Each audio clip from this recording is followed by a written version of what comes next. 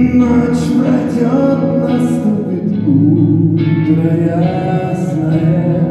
Компания «Уралкали» готовится отметить главный корпоративный праздник – День шахтера. Труженики земных недр уже получили творческий подарок. С акустическим концертом выступил популярный музыкант и телеведущий Александр Пушной. Он спел известные и любимые хиты разных лет, конечно же, в свойственной ему манере исполнения.